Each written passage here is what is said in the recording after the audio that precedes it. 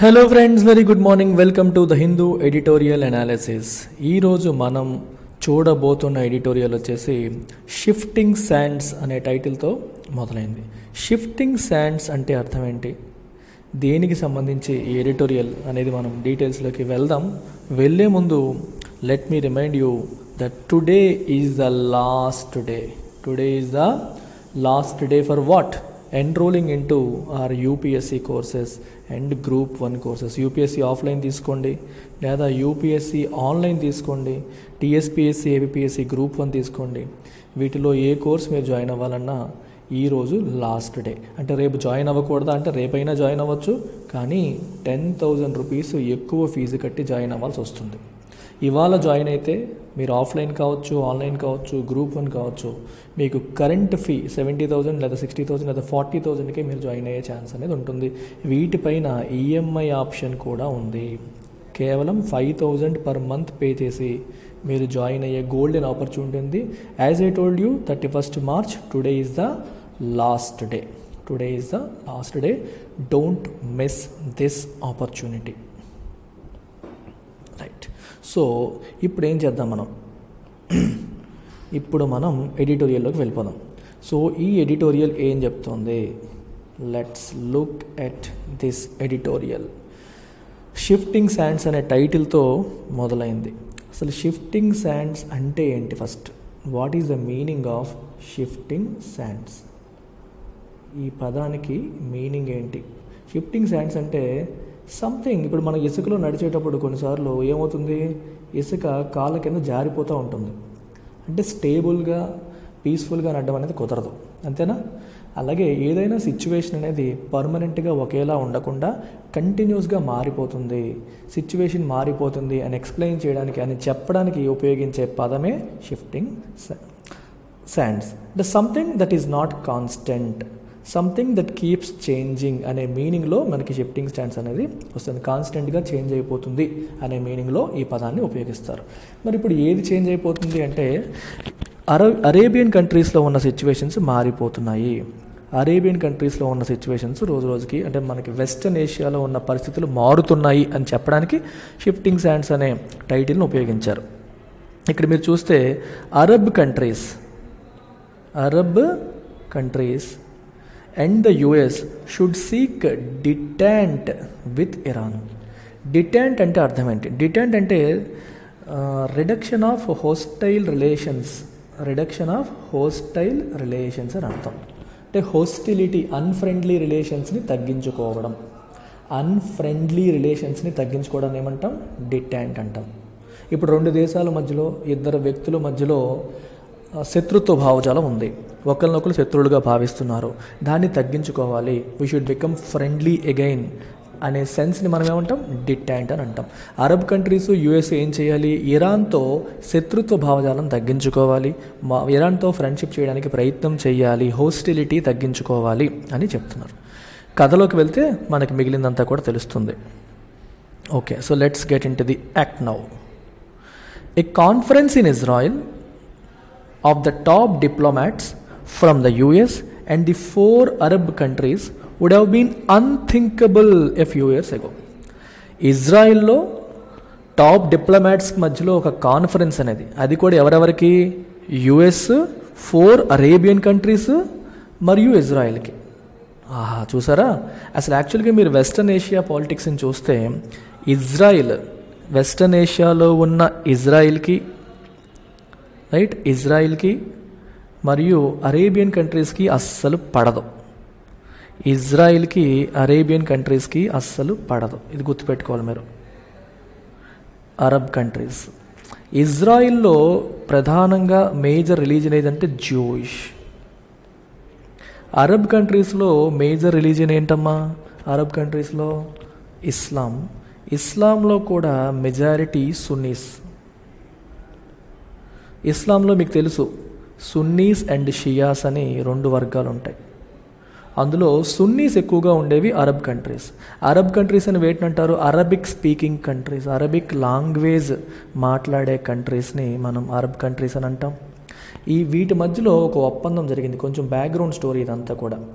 మీకు Arabian countries కథలో కొంచెం వెనక్కి వెళ్తే నైన్టీన్ ఫార్టీ ఫైవ్లో కైరో ఈజిప్ట్లో ఉన్న కైరోలో ఈజిప్ట్లో ఉన్న కైరోలో ఈ అరబిక్ స్పీకింగ్ కంట్రీస్ అన్నీ ఒక యూనియన్గా ఫామ్ అయ్యాయి. దాన్నే ది అరబ్ లీగ్ అని అంటారు. The Arab league. ఎన్ని కంట్రీస్? ఇరవై రెండు కంట్రీస్. ఈ ఇరవై రెండు కంట్రీస్ నేమ్స్ మీరు కామెంట్ సెక్షన్లో మెన్షన్ చేస్తారు. అరబ్ లీగ్లో భాగంగా ఉన్న ఇరవై రెండు కంట్రీస్ పేర్లు మెన్షన్ చేస్తారు. వీటన్నిటికీ ఉన్న కామన్ ఆస్పెక్ట్ ఏంటి? ఒకటి they are Arabic speaking predominantly అన్ని దేశాల్లో కూడా సున్నీ పాపులేషన్ అనేది ఎక్కువ ఉంది. ముస్లిమ్స్లో దట్టు సున్నీ పాపులేషన్ అనేది ఎక్కువగా ఉంది. మీకు ఇజ్రాయెల్కి పాలస్తీనాకి గొడవ ఉంటుంది. పాలస్తీనాలో అరబ్స్ ఉంటారు. సో మరి ఇజ్రాయెల్ పాలస్తీనాని ఆక్యుపై చేసుకుంది అనే భావజాలం వల్ల ఇజ్రాయెల్ని ఈ దేశాలు వ్యతిరేకంగా చూడడం అనేది జరుగుతూ ఉంటుందన్నమాట. అందుకనే ఇజ్రాయిల్లో అరేబియన్ కంట్రీస్ యుఎస్ మరియు ఇజ్రాయిల్ కలిపి ఒక మీటింగ్ జరుగుతోంది అనే విషయం కొన్నాళ్ళ క్రితం మనం ఆలోచించుకుంటే అసలు జరిగే పనేనా? అసలు జరుగుతుందా? అసలు ఇజ్రాయిల్కి వీళ్ళకి పడదు కదా? అరేబియన్ కంట్రీస్కి పడదు కదా? అసలు జరిగే ఛాన్సే లేదు. జరిగే ఛాన్సే లేదు అని కొన్నాళ్ళ క్రితం మనం అనుకునే వాళ్ళం అలాంటి అన్థింకబుల్ అసలు ఊహించనే ఊహించలేని విషయం ఈరోజు జరుగుతోంది. ఈరోజు జరుగుతోంది. ఇది ఇక్కడే కథ అనమాట this is what you need to understand in this but on Monday in Israel's Negev desert officials from the US the UAE Bahrain Morocco Egypt and Israel ఈ ఫోర్ ఈ ఫోర్ ఇక్కడ కనిపిస్తున్న ఫోర్ అరబ్ కంట్రీస్ మరియు Israel యుఎస్కి చెందిన officials gathered to discuss security partnerships Iran and other issues signalling a decisive a decisive shift in West Asian geopolitics so ఈ నాలుగు దేశాలు యుఎస్ మరియు ఇజ్రాయెల్ కలిపి కూర్చొని మాట్లాడుకోవాలి అని చెప్పి కూర్చున్నారు. దేన్ని డిస్కస్ చేయడానికి సెక్యూరిటీ పార్ట్నర్షిప్స్ ఇరాన్ గురించి ఇంకా వాళ్ళకి కామన్గా ఉన్న ఇష్యూస్ గురించి డిస్కస్ చేయడానికి they sat together in Israel's ఆ ప్లేస్ ఏంటి? నెజెవ్ డిజర్ట్ ఈ ప్లేస్లో కూర్చొని మాట్లాడుకున్నారు. ఇక్కడ ఇందాక ఇందాక ఒక కథ చెప్పలేదు మీకు ఇక్కడ. ఇక్కడ విచిత్రం ఏంటంటే ఇందాక ఒక మాట మాట్లాడుకున్నాం మనం. ఏం మాట్లాడుకున్నాం? ఇజ్రాయిల్ పాలస్తీన్ అరేబియన్ కంట్రీస్ అన్నీ మాట్లాడుతున్నప్పుడు ఇంకొక విషయం కూడా మీరు గమనించాలి.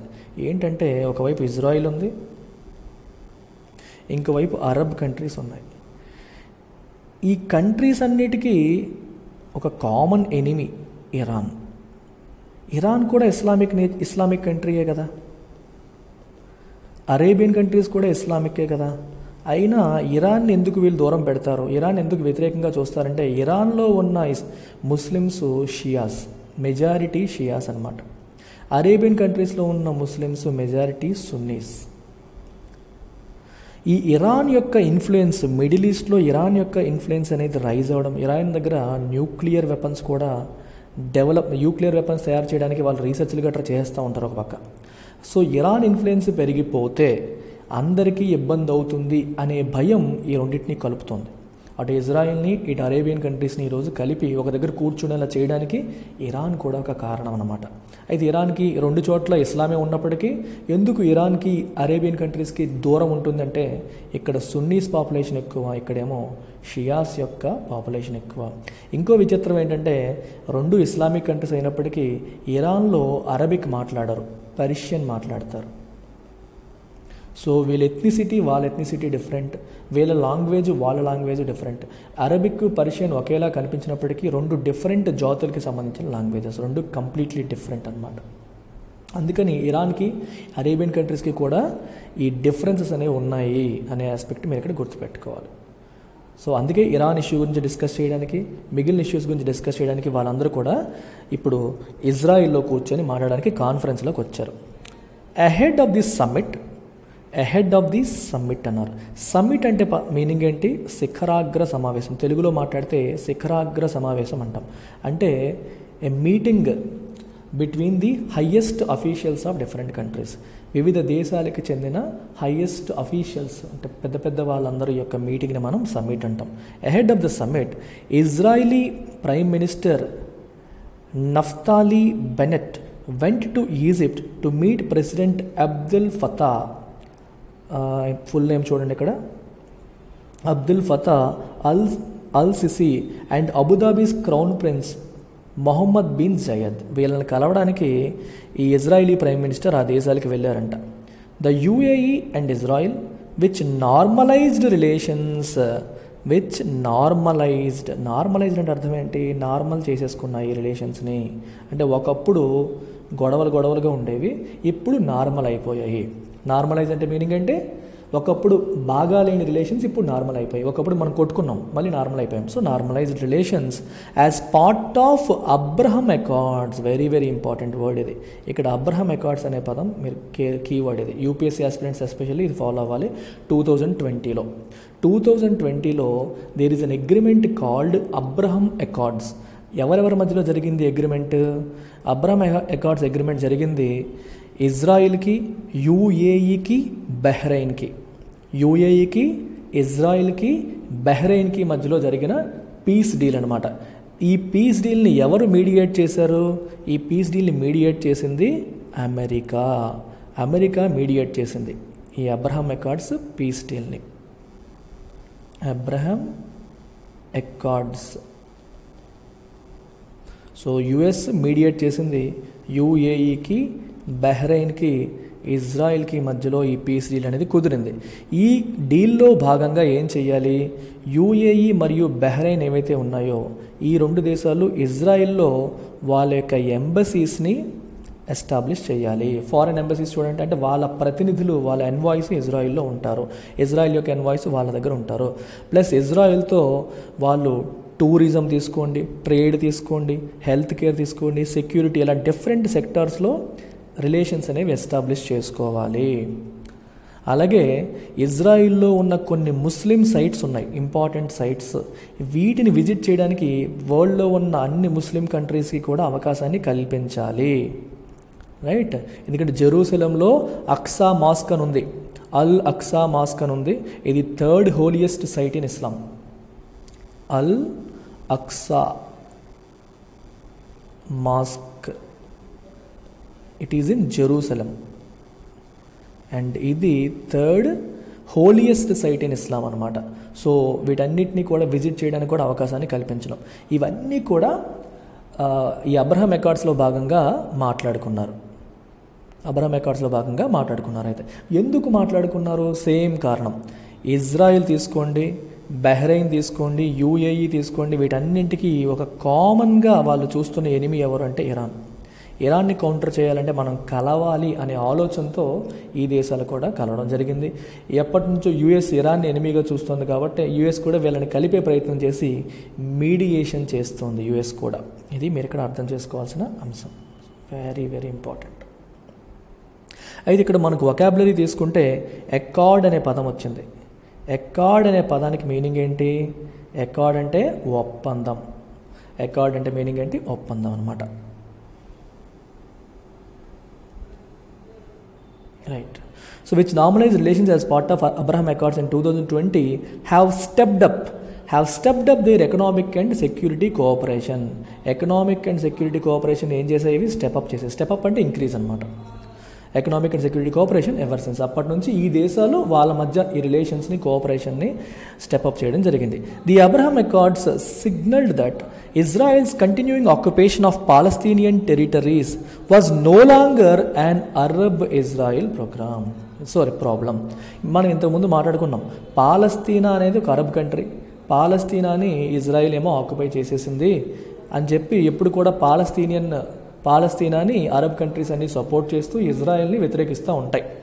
అలాంటిది ఇజ్రాయెల్తో అరబ్ కంట్రీస్ ఇప్పుడు కలిపి ఒక ఒప్పందం చేసుకున్నాయి అంటే అది దేన్ని సిగ్నల్ చేస్తుంది? అది దేన్ని ఇండికేట్ చేస్తుంది? సిగ్నల్ చేయడం అంటే అర్థం ఏంటి? ఇండికేట్ చేయడం. దేన్ని ఇండికేట్ చేస్తుంది అంటే పాలస్తీనాని ఇజ్రాయెల్ ఆక్యుపై చేయడం అనేది was no longer Arab Israel problem అది ఇంటర్నల్గా రెండు దేశాల ప్రాబ్లమే తప్పితే అరేబియన్ కంట్రీస్కి ఇజ్రాయెల్కి ఉన్న ప్రాబ్లం కాదు అన్నట్టుగా మారిపోయింది సిస్టమ్ అది వాళ్ళు రెండు దేశాలు తీసుకుంటే మేమందరం ఇన్వాల్వ్ అవ్వం అన్నట్టుగా ఇండికేట్ చేసినట్టుగా కనిపిస్తుంది. Now Arab Israeli relations have gained a new dimension with mister Bennett reportedly proposing Middle East defensive envelope. Featuring advanced Israel's advanced missile defence systems ఇప్పుడు ఏమంటున్నారంటే మనందరం కలిపి ఒక సెక్యూరిటీ కోఆపరేషన్ తీసుకుందాము. సెక్యూరిటీ అగ్రిమెంట్ చేసుకుందాము. మిడిల్ ఈస్ట్ డిఫెన్సివ్ ఎన్వలప్ అని చెప్పి ఈయన ఒకదాన్ని ప్రపోజ్ చేస్తున్నారు. సో మీకు ఇజ్రాయెల్ దగ్గర అడ్వాన్స్డ్ మిసైల్ డిఫెన్స్ సిస్టమ్స్ ఉన్నాయి. మేము సపోర్ట్ చేస్తాము. మా దగ్గర ఉన్నవి మీకు అందిస్తాము అన్న సెన్స్లో అన్న సెన్స్లో ఇది కూడా మాట్లాడడం అనేది జరుగుతుంది. అడ్వాన్స్డ్ మిసైల్ డిఫెన్స్ సిస్టమ్స్ మీరు డిప్లాయ్ చేయొచ్చు. ఇజ్రాయెల్ దగ్గర ఉన్నవి అని చెప్పి చెప్తున్నారు. The Negev conference signals a new era of security partnership between the erstwhile foes who are brought together by regional and global developments ఇప్పుడు ఈ నెగేవ్లో ఇక్కడ జరుగుతున్న కాన్ఫరెన్స్ ఏం సిగ్నల్ చేస్తుంది? ఏ న్యూ ఎరా ఎరా అంటే a period of time era అంటే ఏంటి? ఒక పీరియడ్ ఆఫ్ టైం అని అర్థం. Of security partnership between these erstwhile foes erstwhile అంటే అర్థం ఏంటి? ఇంతకు ముందు. ఒకప్పటి. ఎర్స్ట్ వైల్ అంటే మీనింగ్ ఏంటి? ఒకప్పటి. ఇంతకు ముందు. ఫోర్స్ ఫోర్స్ అంటే ఒకప్పుడు శత్రువులు. ఫ్రెండ్ అండ్ ఫో అంటారు. ఫో అంటే మీనింగ్ ఏంటి? శత్రువులు అని అర్థం. ఒకప్పటి శత్రువులు వీళ్ళంతా. వీళ్ళందరినీ ఇప్పుడు కలిపింది. ఈ కొత్త కాన్ఫరెన్స్ ఏం చేసింది? వాళ్ళందరినీ కలిపి ఒక కొత్త తరానికి ఒక కొత్త కాలానికి బిగిన్ చేసింది సిగ్నల్ చేసింది. ఒక న్యూ ఎరాకి ఇది దారి చూపించింది అని అర్థం అనమాట ఒక న్యూ ఎరా దీంతో స్టార్ట్ అవుతుంది. ఎందుకు కలిసారంట వీళ్ళంతా? Because of several regional and global developments చాలా సిచ్యువేషన్స్ షిఫ్టింగ్ హ్యాండ్స్ అన్నారు. సీన్ మారిపోతుంది. సీన్ మారిపోతుంది కాబట్టి ఈ మారిన పరిస్థితులకు తగ్గట్టుగా వీళ్ళు కూడా వాళ్ళ ఆలోచనల్ని వాళ్ళ పార్ట్నర్షిప్స్ని వాళ్ళ రూల్స్ని వాళ్ళ రెగ్యులేషన్స్ని అన్నిటినీ మార్చుకుంటున్నారు. సో న్యూ అలైన్మెంట్ అనేది వస్తుంది వాళ్ళ రిలేషన్స్ మధ్యలో అనేది ఇక్కడ మనం చూడాలి.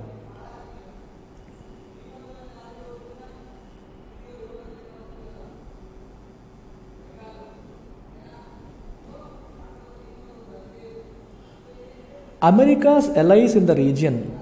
America's allies allies అంటే మీనింగ్ ఏంటి? ఫ్రెండ్స్. ఎలై అంటే friend. America's allies in the region face two challenges వీళ్ళకి రెండు ఛాలెంజెస్ ఉన్నాయి ప్రధానంగా. ఏంటది? One is shrinking one is the shrinking US security umbrella. Shrinking అంటే కుచించుకుపోతున్నా తగ్గిపోతున్నా. ఏంటి తగ్గిపోతుంది? US security umbrella. అంటే అర్థం ఏంటి? అదేంటిది? యూఎస్ సెక్యూరిటీ వీళ్ళకి ఇవ్వడం ఏంటి? మీకు డౌట్ వస్తుంది. చూడండి ఒకసారి. The bedrock of partnership the bedrock of partnership bit of between the US between the US and its Gulf countries and its Gulf allies ఏంటి అసలు? చెప్పండి. యుఎస్కి గల్ఫ్ కంట్రీస్కి మధ్యలో పార్ట్నర్షిప్ ఎందుకు వస్తుంది అసలు? మెయిన్ దేన్ని బేస్ చేసుకొని పార్ట్నర్షిప్ ఉంది అంటే మీరు ఏం చెప్తారంటే చూడండి ఇక్కడ వాజ్ అమెరికాస్ సెక్యూరిటీ గ్యారంటీస్ మేము మీకు సెక్యూరిటీ గ్యారంటీ ఇస్తాము. అంటే అర్థం ఏంటి? మీ దేశాలపైన అటాక్ జరిగితే అమెరికా సపోర్ట్ చేస్తుంది అని. దేనికి? In return for seamless flow of oil మీ దగ్గర కావాల్సినంత ఆయిల్ ఉంది. మాకు ఆయిల్ ఎప్పుడు అడ్డంకి ఇవ్వకుండా ఎప్పుడు కావాలన్నా మాకు మీరు పంపిస్తూ ఉంటే మీకు కష్టం వచ్చినప్పుడు మేము ఉంటాము. Security promises security promises security guarantees America ఇచ్చింది.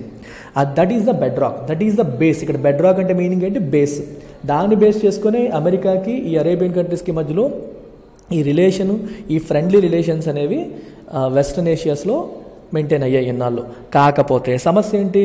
But the US security promises ఇక్కడ చూడండి ఇక్కడ టూ ఛాలెంజెస్ అన్నారు టూ ఛాలెంజెస్ ఉన్నాయి రెండు ఛాలెంజెస్ ఉన్నాయి. ఒకటి US security promises took a hit when Saudi Arabia's oil installations came under attack in two thousand nineteen for which the Saudis and the Americans blame Iran రెండు వేల పంతొమ్మిదిలో Saudi అరేబియాలో ఉన్న oil installations పైన attacks జరిగాయి. రెండు వేల పంతొమ్మిదిలో.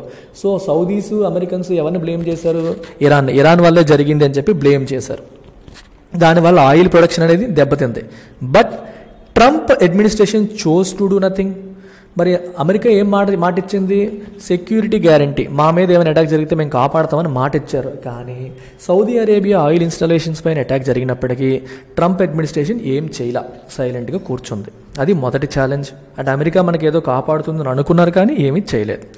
సిన్స్ దెన్ అప్పటి నుండి Saudi Arabia and the UAE have come under multiple attacks by Yemen's Houthis and the US has offered little help అప్పటి నుంచి సౌదీ అరేబియా మరియు యూఏఈకి మల్టిపుల్ అటాక్స్ వచ్చాయి. ఎక్కడి నుంచి వచ్చాయి? యమన్ దేశంలో ఉన్న హౌదీస్ నుంచి. ఈ హౌదీస్ ఎవరు? ఈ హౌదీస్ అనేవాళ్ళు యమన్ దేశంలో ఉన్న షియా గ్రూప్. మీరు ఇందాకే చెప్తున్నాను మీకు ఏం చెప్పాను? షియాస్ అండ్ సున్నీస్ అని చెప్తున్నాం. షియాస్ అండ్ సున్నీస్ అని మనం మాట్లాడుకుంటున్నాం. ఈ హౌదీస్ అనేవాళ్ళు యమన్ దేశంలో షియా గ్రూప్ వెళ్ళు. సో యమన్ ప్రభుత్వానికి వ్యతిరేకంగా మాకు వేరేగా రాజ్యం కావాలని పోరాటం చేస్తున్న వాళ్ళు ఈ హౌతీస్. ఈ హౌతీస్కి ఇరాన్ సపోర్ట్ చేస్తుంది. ఇరాన్ ఎందుకు సపోర్ట్ చేస్తుంది హౌతీస్కి అంటే ఆబ్వియస్లీ మీకు తెలిసిందే Iran is also Shia majority nation యమన్లో ఉన్న హౌదీస్ కూడా షియాస్ ఇరాన్లో కూడా మెజారిటీ షియాస్ ఉన్నారు. అలాగే మనకి లెబనాన్లో హెజ్బుల్లా ఇది అనదర్ మూమెంట్ ఈ మూమెంట్ కూడా షియా లెడ్ మూమెంట్ సో దీనికి కూడా ఇరాన్ సపోర్ట్ చేస్తుంది. అంటే ఈ ఈ చుట్టుపక్కల ఉన్న దేశాల్లో షియాస్ మేజర్గా ఏ మూమెంట్ రైజ్ చేస్తున్నా ప్రభుత్వం పట్ల తిరుగుబాటు చేస్తున్నా దానికి ఇరాన్ సపోర్ట్ అనేది ఉంటుందన్నమాట. సో ఈ హౌదీస్ ఏం చేశారు? ఆబ్వియస్గా కదా మీకు అర్థమవుతుందా? ఇక్కడ మీకు యమన్ తీసుకోండి. యమన్ క్రైసిస్లో ఇవన్నీ డీటెయిల్గా చెప్పాను నేను ఇంతకుముందు యమన్లో ఆల్రెడీ ఉన్న ఎస్టాబ్లిష్మెంట్కి హౌదీస్కి వార్ జరుగుతుంటే ఇరాన్ ఏమో హౌదీస్కి సపోర్ట్ చేస్తుంది. ఈ ఎస్టాబ్లిష్మెంట్కి యూఏఈ సపోర్ట్ చేస్తుంది. అందుకని చెప్పి హౌదీస్ ఏం చేశారు? మేము ఎవరి మీద ఫైట్ చేస్తాం వాళ్ళకి మీద సపోర్ట్ చేస్తారని హౌదీస్ వచ్చి యూఏఈ పైన అటాక్ చేశారు. అలాగే సౌదీ అరేబియా పైన కూడా వాళ్ళు అటాక్ చేయడం అనేది జరిగింది. అది చెప్తున్నాడు ఇక్కడ. అలా జరిగినప్పుడు కూడా అమెరికా ఏం చేసింది? It offered little help offered little help అంటే అర్థం ఏంటి? No help. ఇక్కడ చూడండి లిటిల్ అనే పదం చాలా ఇంపార్టెంట్. లిటిల్ అనగానే మీరు కొంచెం అనుకుంటారు. లిటిల్ అనగానే కొంచెం అనుకోవద్దు. ఎందుకంటే లిటిల్కి మల్టిపుల్ మీనింగ్స్ ఉన్నాయి. మీకు చెప్తా చూడండి ఒకసారి. చాలా ఇంపార్టెంట్ ఇది.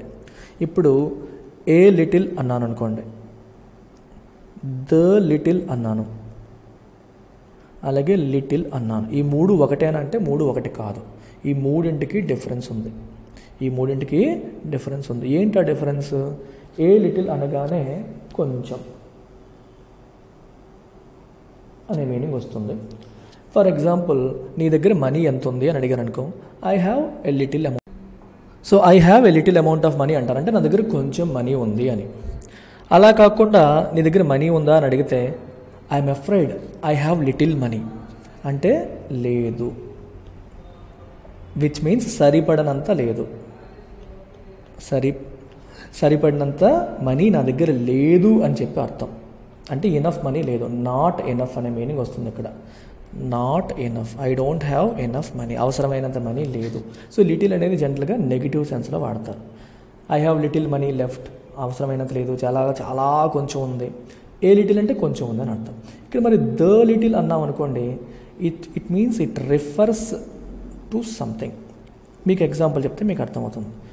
ఫర్ ఎగ్జాంపుల్ నిన్న నీకు కొంచెం డబ్బులు ఇచ్చాను కదా can you get me that little money I gave you yesterday can you get me the little money I gave you yesterday నేను నేను నేను నీకు నిన్న కొంచెం ఇచ్చాను చూడు ఆ మనీ తీసుకొస్తావా? అంటే you're referring to something already discussed అంటే ఇద్దరు మాట్లాడుకుంటున్నప్పుడు వాళ్ళిద్దరికీ ఆల్రెడీ తెలిసిన దాని గురించి రిఫర్ చేసినప్పుడు ఈ ద అనేది వాడతారు. మీకు ఎగ్జాంపుల్ అర్థమైందా?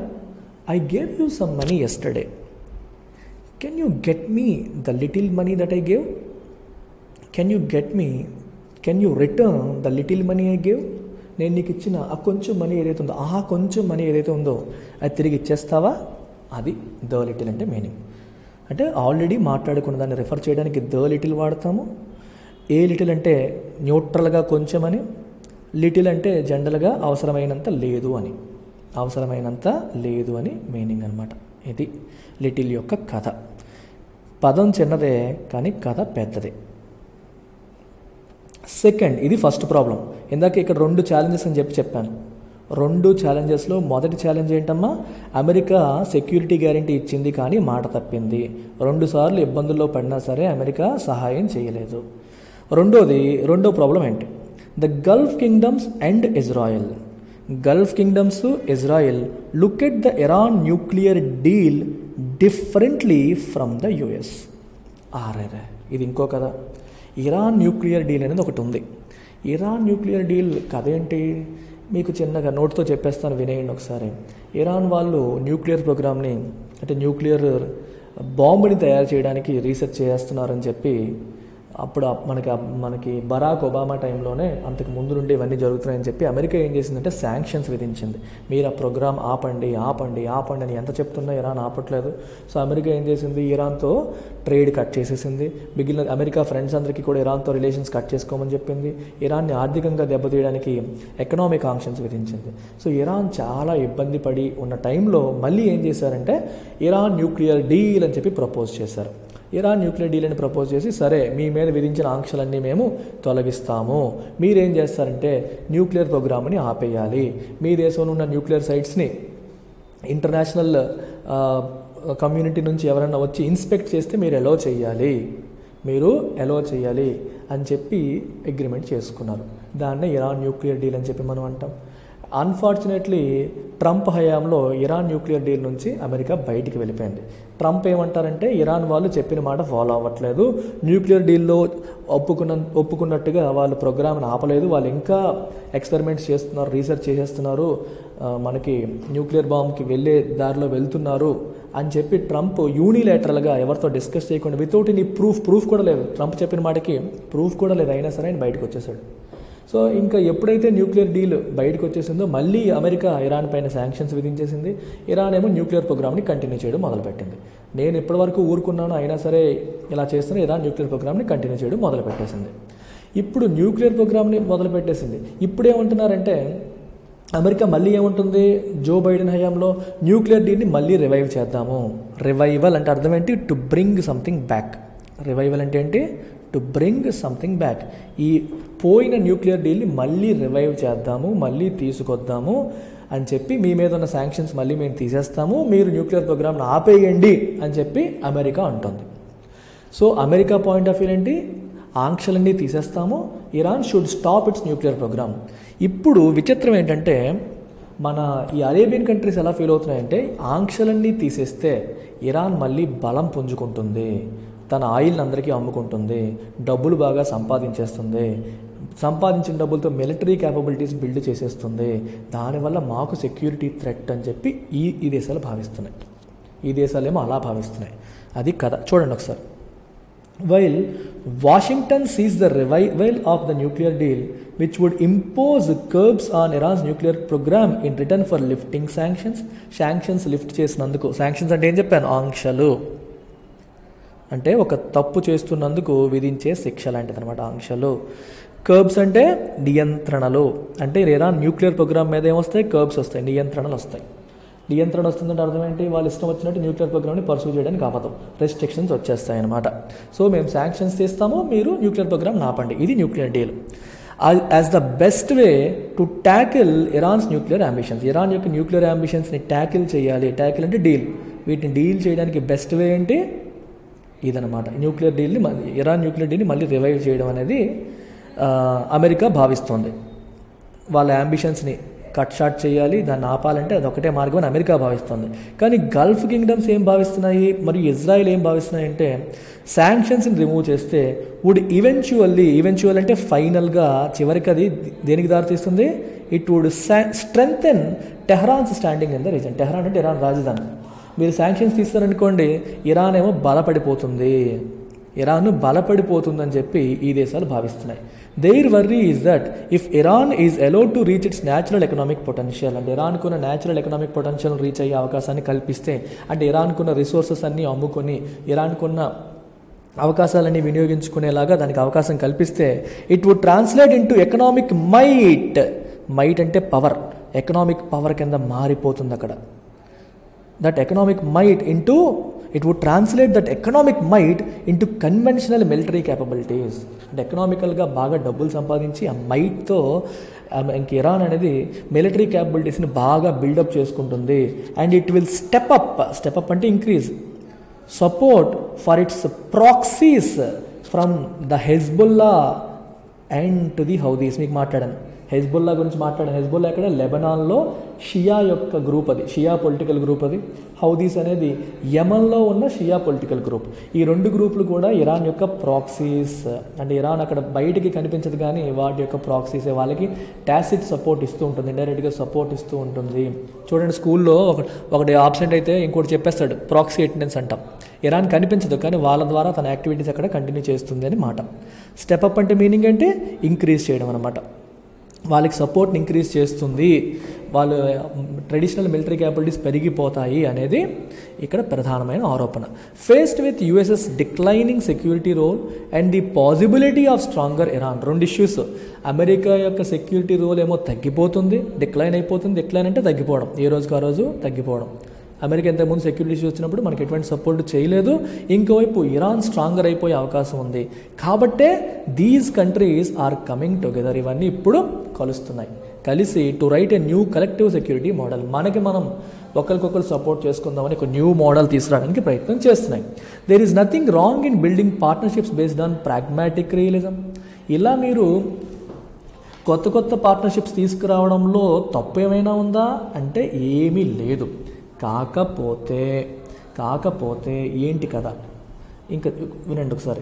ప్రాగ్మాటిజం అంటే అర్థం ఏంటి? ప్రాగ్మాటిక్ రియలిజం అంటే అర్థం ఏంటి? అంటే కొన్ని ఐడియాస్ ఐడియాలజీస్ థీరీస్ని బేస్ చేసుకొని కాకుండా రియలిస్టిక్గా రియలిస్టిక్ సినారియోని బేస్ చేసుకొని తీసుకోవడం. అంటే అదేంటి? అరేబియన్ కంట్రీస్ మనకి మొదటి నుండి శత్రువులు కదా. ఇజ్రాయెల్ మనకి మొదటి నుండి శత్రువు కదా అని అరేబియన్ కంట్రీస్ అనుకోవట్లేదు.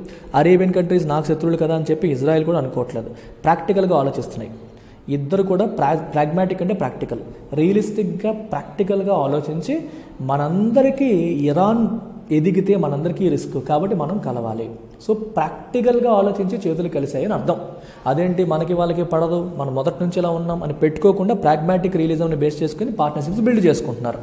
But that alone might not bring peace ఇలా పార్ట్నర్షిప్ పెట్టగానే మనకి పీస్ వచ్చేస్తుందా? రాదు. శాంతి వస్తుందా? రాదు. ఇఫ్ లాస్టింగ్ పీస్ లాస్టింగ్ అంటే కలకాలం ఉండేలాగా పర్మనెంట్గా ఉండేలాగా మీకు పీస్ కావాలి శాంతి కావాలి అంటే security lasting peace and security అనేది మీ ప్రైమరీ గోల్స్ అయితే మీరు ఏం చేయాలి? Israel west Asian countries US ఏం చేయాలి? Should also seek some kind of detente with Iran స్టార్టింగ్లో మాట్లాడమే పదం మళ్ళీ మాట్లాడుతున్నాం. అంటే ఇరాన్తో ఉన్న హోస్టైల్ రిలేషన్స్ని తగ్గించుకోవాలి ఫ్రెండ్లీ రిలేషన్స్ని బిల్డ్ చేసుకోవాలి అది బిల్డ్ చేసుకునే ప్రయత్నం చేయాలి అప్పుడే మీకు లాంగ్ లాస్టింగ్ కలకాలం ఉండే శాంతి మరియు సెక్యూరిటీ అనేవి వస్తాయి. అప్పుడే అవన్నీ వస్తాయి లేకపోతే అవి రావు అని ఇక్కడ చెప్పడం జరుగుతుంది. ఓకేనా? ఇదనమాట కథ. సో చూసారా ఎన్ని పదాలు ఇవాళ చదువుకున్నారో? ఒకసారి రివిజన్ చేసేద్దామా? ఈ వర్డ్స్ అన్ని షిఫ్టింగ్ సైన్స్ అంటే అర్థం ఏంటి? ఫాస్ట్గా మారిపోతున్న పరిస్థితులు. డిటెంట్ అంటే అన్ఫ్రెండ్లీ రిలేషన్స్ హాస్టల్ రిలేషన్స్ని తగ్గించుకోవడం.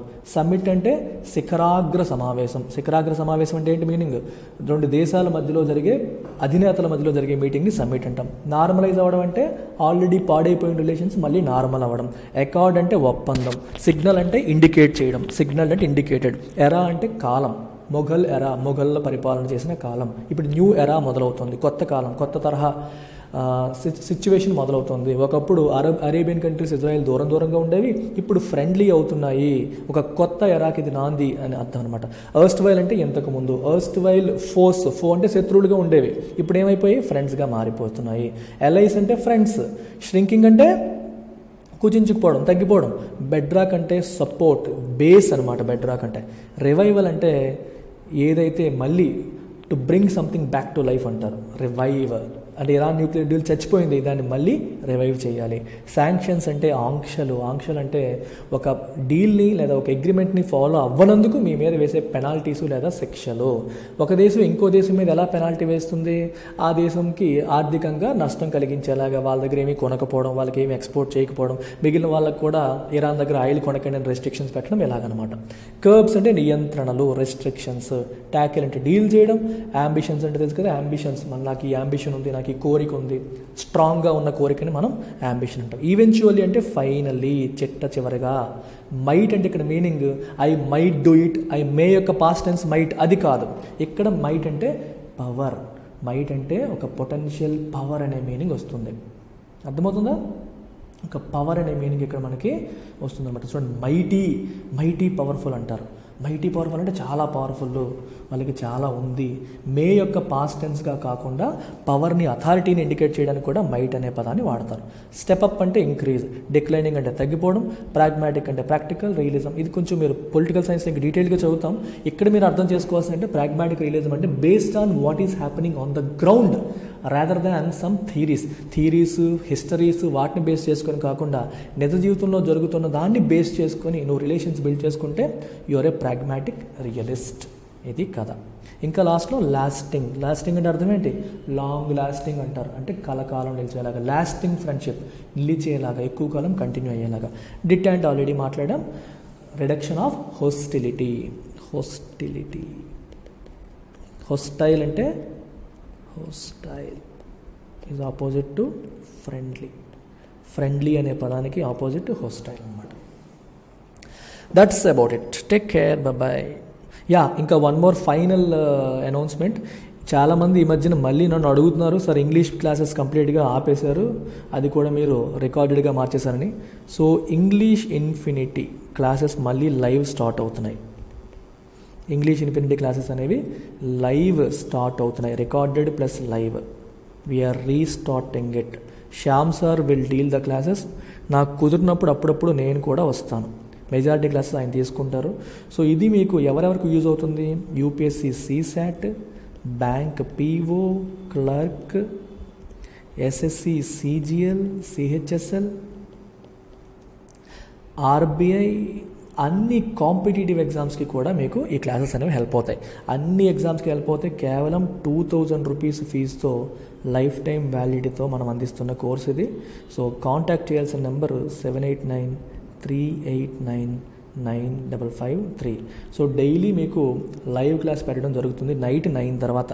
So nine thirty to ten PM మీకు క్లాస్ ఉంటుంది.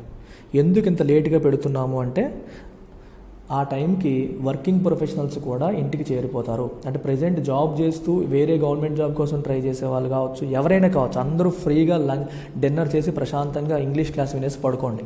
అందుకోసం ఈవినింగ్ బాగా నైట్ టెన్ కావచ్చు టెన్ ఫిఫ్టీన్ కావచ్చు క్లాస్ బట్టి ఉంటుంది. ఇందులో డిఫరెంట్ మోడల్స్ ఆఫ్ క్వశ్చన్స్ని డిస్కస్ చేస్తూ ఉంటారనమాట so don't miss this opportunity we're reviving this course that's about it take care bye